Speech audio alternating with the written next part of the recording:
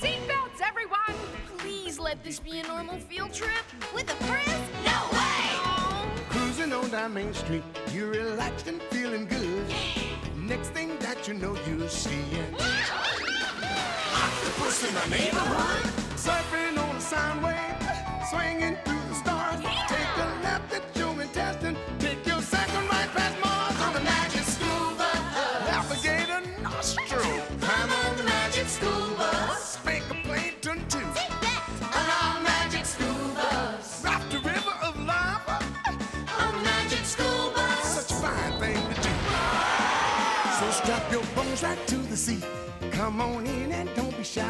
Just to make your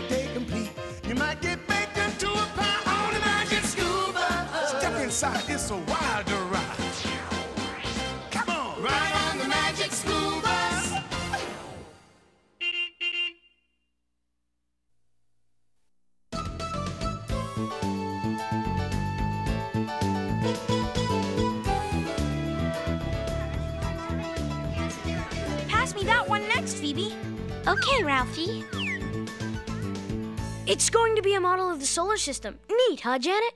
Uh, I hate to tell you, Cousin Arnold, but when my class built one, the sun was so huge we had to hang it from the flagpole. And you had all nine planets? That's right, Keisha. Mercury, Venus, Earth, Mars, Jupiter, Saturn, Uranus, Neptune, Pluto. My class already studied the solar system. I bet you your class didn't learn about the aliens that live on the planets. For your information, Ralphie, Earth is the only planet that can support life as far as we know. And how far do you know? really far, because I got straight A's on all my tests, and this proves it. If you already know so much, Janet, why did you come to visit our class? Because Arnold told me all about your field trips, uh, Dorothy Ann. What did he say? That they were, and I quote, highly unusual. And you know what I said? Prove it. She's really nice once you get to know her. Ah, good morning, class. Have you all met Arnold's cousin, Janet? Yes, Miss Frizzle. My teacher doesn't dress like that. That's nothing. Sometimes the frizz looks totally outrageous. Well, since we're lucky enough to have a guest today, I'd say it's a perfect time for a field trip. Hey, cuz, now's your chance to prove it. I wonder where we're going today. Inside a rotten log? Been there. To the bottom of the ocean? Done that. We're going to the planetarium? Hardly unusual, Arnold.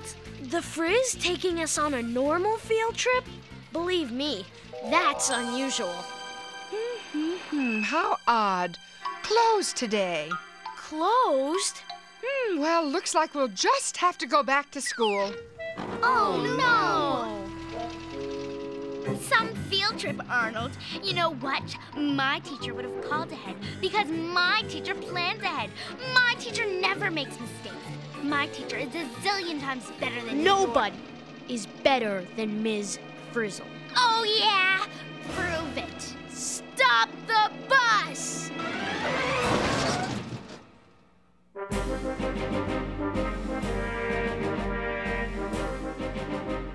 Yes, Arnold? Isn't there, you know, someplace else you could take us? You mean another planetarium? Well, sort of, but bigger. Bigger? You know, the big one. Oh, Arnold, why didn't I think of that? T minus five and counting. Four, three, two, one. Blast off! Happening? A field trip! Into outer space? Highly unusual. Welcome to outer space class. The only planetarium open 24 hours a day, seven days a week. And how are all my astronauts doing? We're weightless! We're in trouble! No, Arnold, we're in orbit around the Earth. Let's Let's see now. We are just about there. Wonderful. Let the tour begin. We're coming up to the sun. Look how huge it is. Class, are you all wearing your special heavy duty sunblock 8000 sun goggles? I wonder how many Earths would fit in the sun. Over a million. Hold on to your goggles.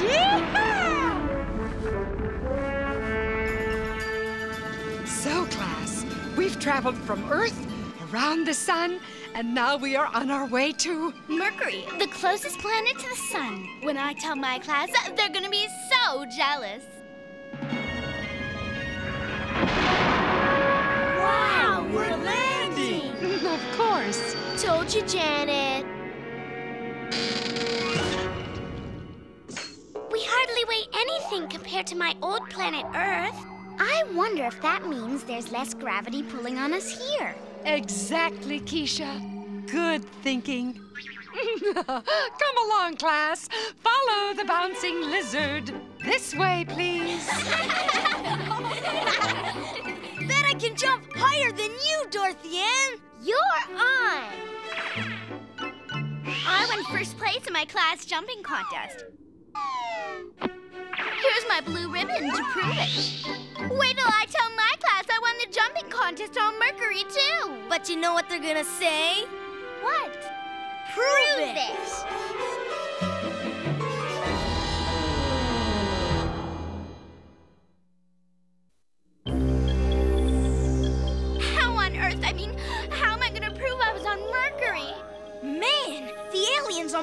Sure make big footprints. Nothing can live on Mercury, Ralphie. It's too hot and dry during the day. And according to my research, way below freezing at night. And day or night, there's no air, which makes it extremely difficult to breathe. Well, something had to make tracks this big. Something did, Ralphie. Meteorites. Hmm. Meteorites are pieces of stone or iron that fall from space. Come along, class. Ones that hit the planet are called meteorites, what do you call the ones that miss? What? Meteorites!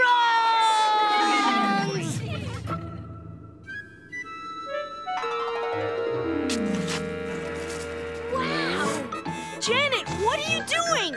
Hey, watch it! Eureka! My very own meteorite. When I show this to my class, it'll prove I was on Mercury. Oh, Janet. Right on top! Wahoo! We're now approaching. Venus, the second planet from the sun. I can't wait, I can't wait, I can't wait! Cool, Venus has clouds just like Earth. Wow! What a view! Uh, I think I'll go sit down now.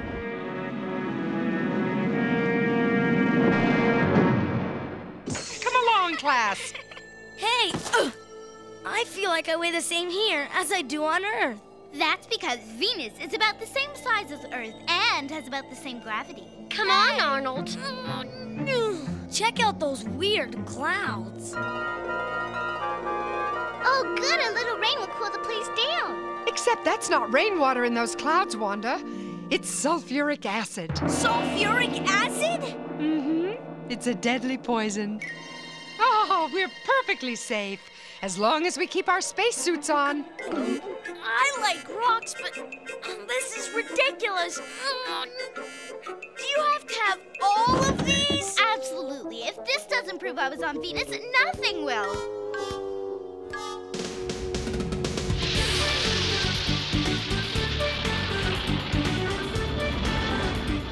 We're now passing through the orbit of the third planet, which is Earth. Look, it's so beautiful.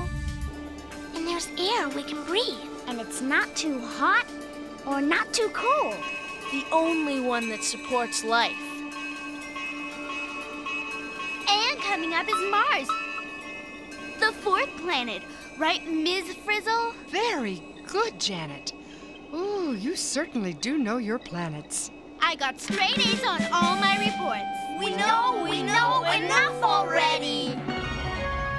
Ah, oh, here we are, class. Take a look at Mars. How marvelous.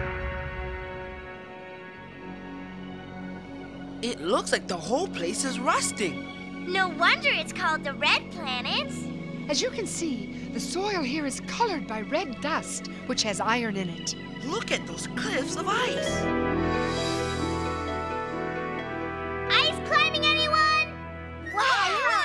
Thanks. Too cold.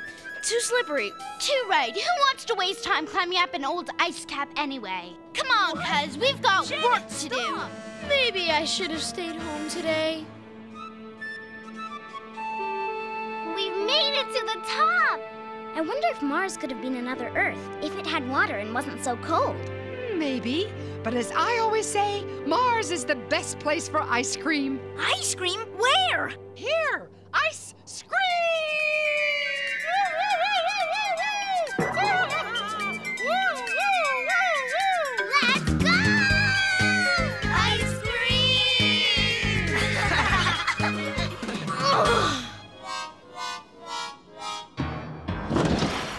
Last ice block. Great! Now for some red dust. On Earth, I had simple little chores emptying waste baskets, feeding the fish, clearing the table. The only thing is, we've been to Mercury, Venus, and Mars so far, and we haven't seen a single.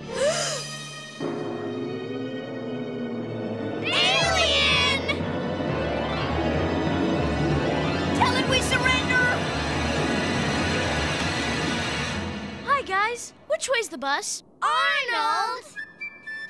I knew it was him the whole time.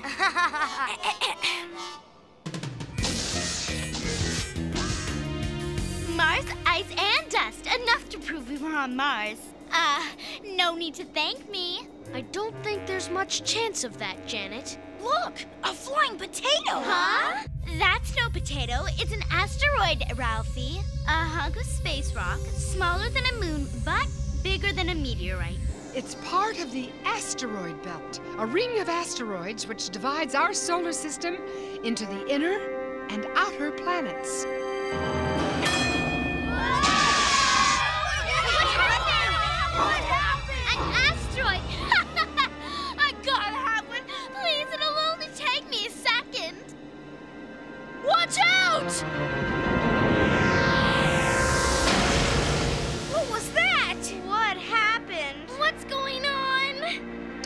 Class. Just an unexpected orbital interruption.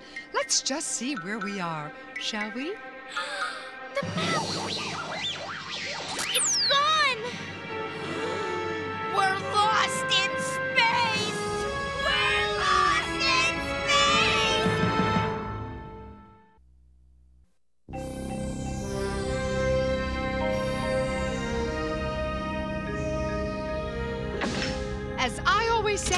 There's nothing a good space mechanic can't fix. Wrench! Wrench. Pliers! An asteroid. Uh, I, I, I mean pliers. Screwdriver! A- an asteroid. Perfect proof. Miss Frizzle, we've got half of the map now. Good. One more adjustment.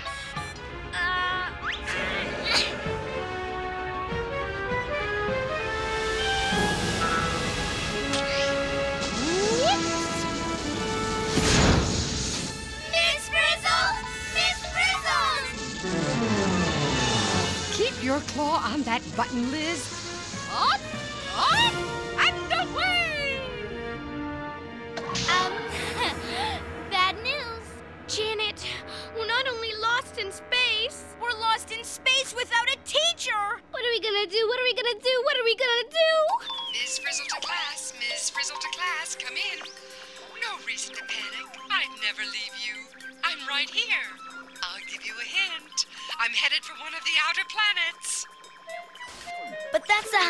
Half map that we don't have. Good. You can fill it in as you go along. You've got a navigator who knows the neighborhood. We do? Of course, Janet.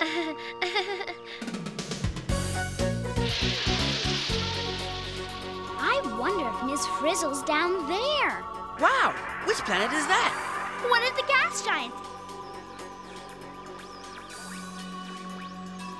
What is that red blotch? It's a storm, thousands of miles wide, and the only planet with a big red spot is Jupiter. Jupiter, the fifth planet. All right, Janet, way to go! Now, if I could just get some of that red spot, it would prove I've been to Jupiter. Miss Frizzle to Bus, Miss Frizzle to Bus, over. Jupiter is the largest planet, but don't worry, Carlos, because I'm not on it. Then where are you? I've got to have some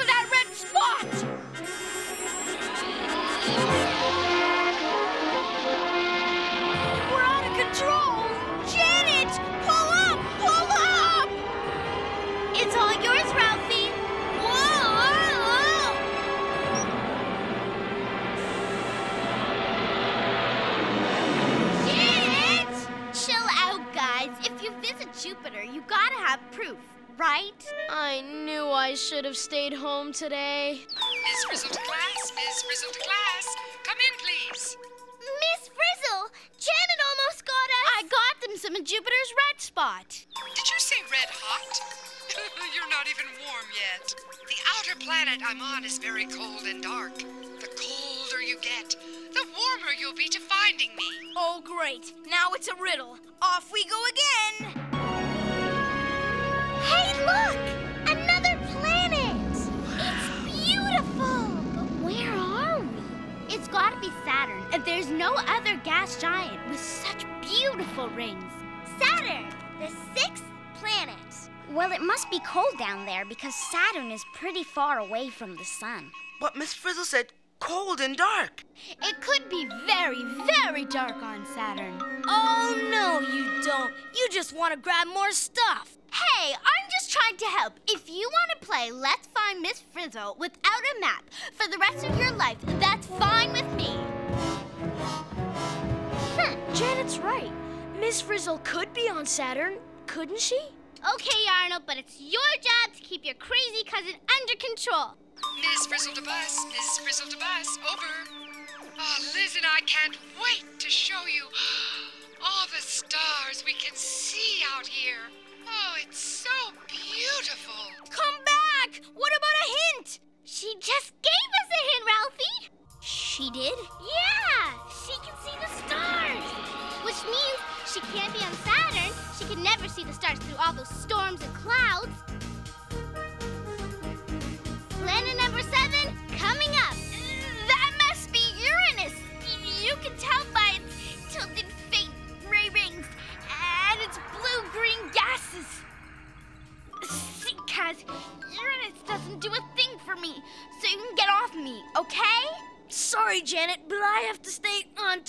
Of the situation.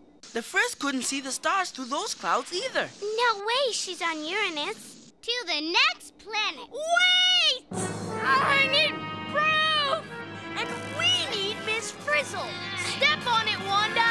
Hey, watch it. Neptune! Please! We gotta stop at Neptune! It's my favorite planet!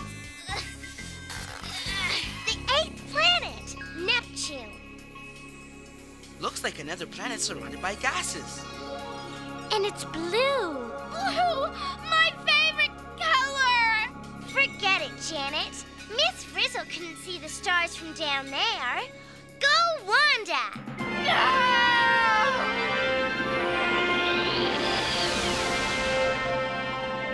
Now where do we go? She's not on Jupiter, Saturn, Uranus, or Neptune. That means there's only one planet left!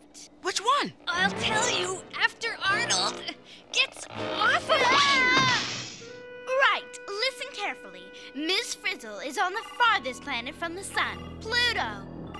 To Pluto!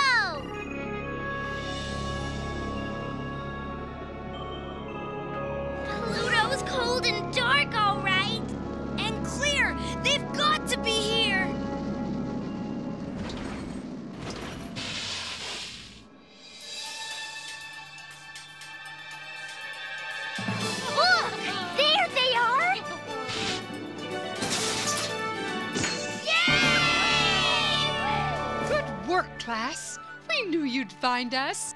Right, Liz? Sure can see the stars from here.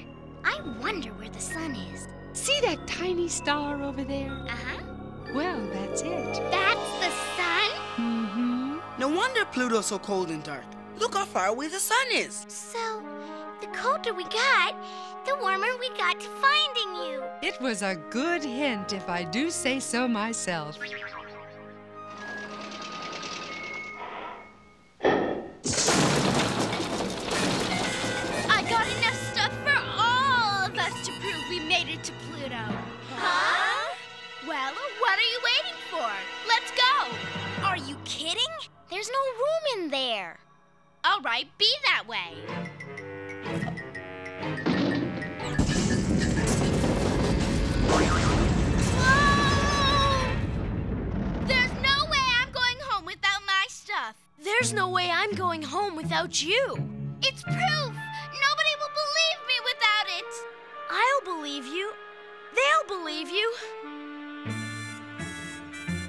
Janet, you want proof? I'll give you proof. Here's proof of what'll happen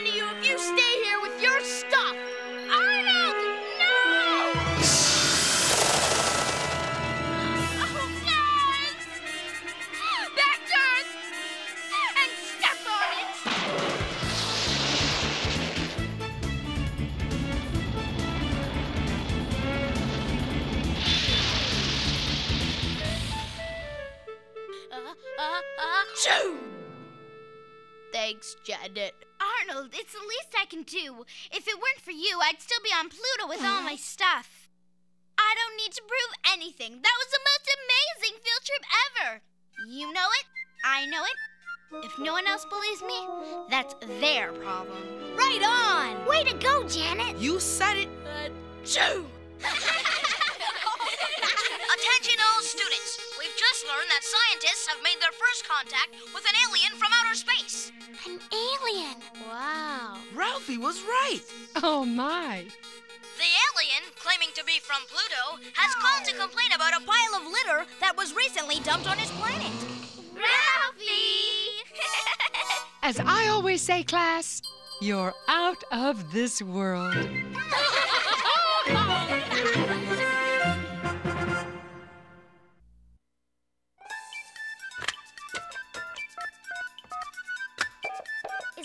magic school bus? Is this the magic school bus? magic school bus? Magic the magic school bus? You mean magic school bus? Magic school bus? Magic school bus? Magic magic school bus?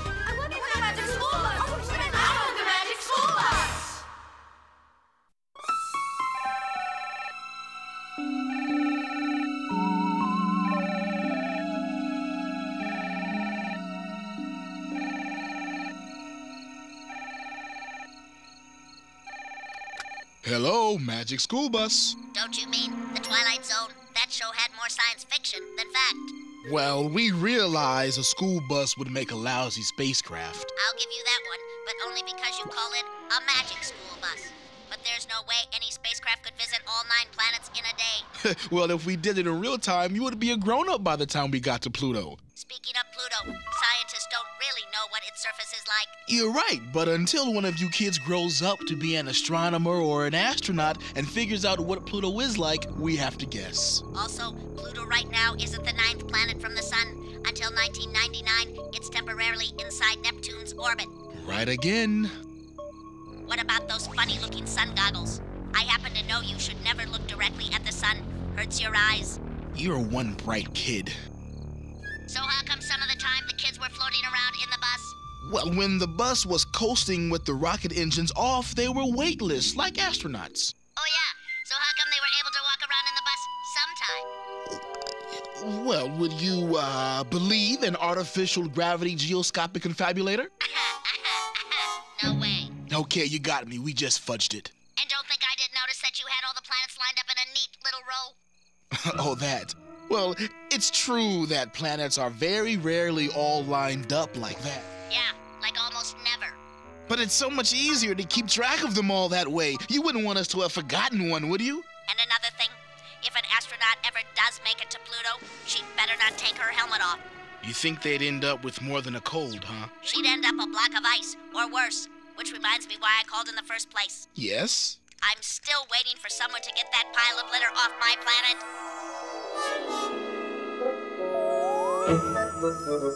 planet.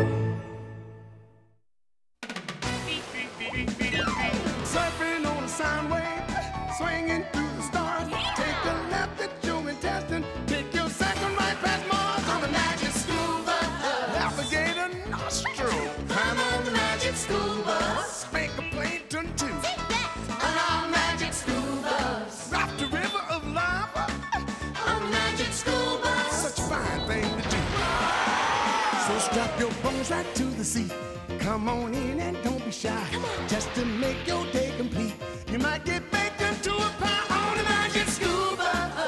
side, it's a wilder ride. Come on! Ride on the magic spoon.